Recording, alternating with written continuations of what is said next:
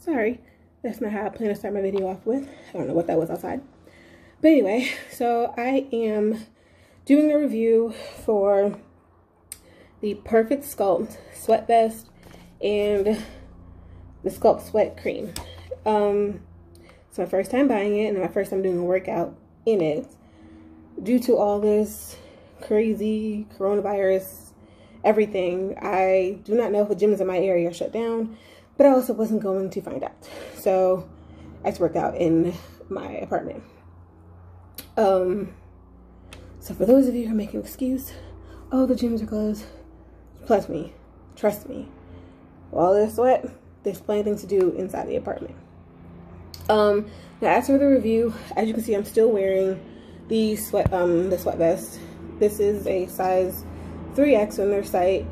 Um, so kudos to uh, Perfect Sculpt for the vest. It really, yeah, did its job. Um, I do recommend getting the sweat, the Thermogenic Workout Enhancer, the um, Sculpt Sweat.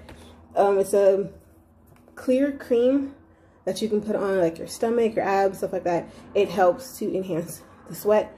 And the more you sweat, the more you burn. Um, in combination to the actual workout. The nice thing about the vest is that even if you're not working out, and you're just wearing it around the house, doing regular daily errands, it will still help you generate more sweat than normal. Um, so I, I, did like that, but I haven't worn it outside the apartment. This is just my first time using it um, today. And I have to say, yes, did well. As you can see this right here. Can't really see it down here anymore. It's kind of dried up.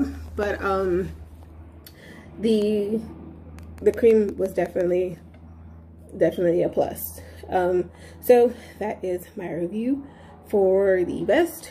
If um, it is a tighter, tighter fitting vest, which I also do like because it helps keep people like me who are top heavy um, a little closer in check. So if you're doing anything extensive with your workout, um, it will help not cause the strain of them moving around too much.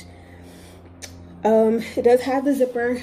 It does have the pads that you flap in. I'll post a picture uh, on here as well at the end of the video so you'll be able to see what it looks like on me.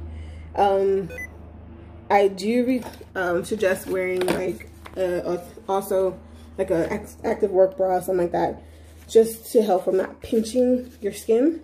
Um, and it really wasn't too much. So the the actual workout bra I have on is by is from Torrid, and that also keeps a nice hold. So that plus the vest with the zipper on it was a complete package plus for me. So I do strongly encourage you guys reach out and get the vest.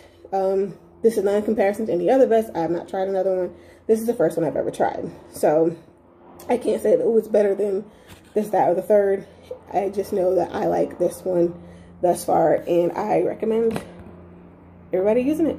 So that is that. Again, I will post a picture at the end of the video so you can kind of see how it goes on.